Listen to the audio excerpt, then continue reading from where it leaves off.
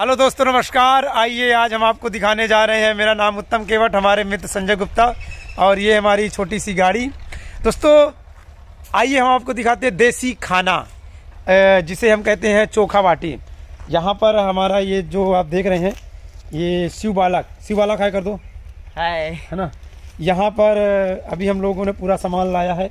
सब चीज़ है। यहाँ पर अब देखिए पूरा ये अपना ही मैदान है। और बाप पुरजों का। बर्तन। तो ये यहाँ पर अब हमारा काम हो रहा है। ये ये मिस्टर दुर्गेश केवट लगे हुए हैं। टमाटर ए निकालते चलो टमाटर निकालते चलो। टमाटर निकालते चलो। झूठ लेट नो भाई। हम्म ये अब ये टमाटर निकल रहे हैं ये अंगकरा। ये देखिए दो, दोस्तों ये जो देसी खाना जो बनता है ना बैठ के आइए खाइए बहुत मज़ा बड़ी स्टाइलिश से बनता है। आइए हम आपको ले चलते हैं। तो दोस्तों इसका वर्णन हमारे गुप्ता जी करेंगे। हाँ।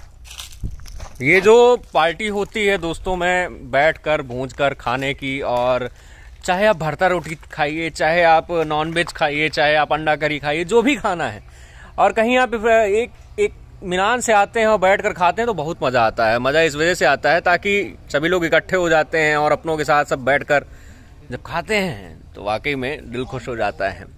जैसा कि आप देख सकते हैं अभी। मैं रुकी और कुछ आपको दिखाता हूँ। वन सेकेंड हाँ। ये सारी सामग्री, ये सामग्री अभी बहुत, ये बची हुई सामग्री है। इतना सामान अभी बच गया है। बाकी सभी वहाँ पे काम लग गया है, और सब लगे हुए हैं, सब अपने अपने तरीके से स्वादिष्ट मज़ा आ जाएगा। और देखिए कितनी खूबसूरत सी जगह पे बैठे हुए हैं। यहाँ सिर्फ़ आपको आम ही आम के पेड़ मिलेंगे। कम से कम यहाँ दो से ढाई सौ पेड़। आम बहुत ही घने जगह पे लगे हुए हैं। ये पूरा एक बगीचा कह सकते हैं, एक बगीचा है। और इस बगीचे पे आप देखिए, छाव देखिए, पेड़ देखिए, खूबसूरत हरियाली देखिए, सब कुछ है यहाँ।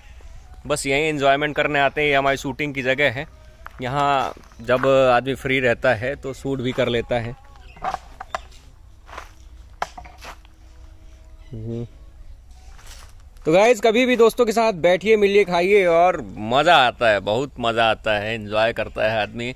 और जीवन में कभी कभी ऐसे पल आते हैं, लेकिन महीने में, सप्ताह में आप कभी भी बैठकर दोस्तों के संग खाइए।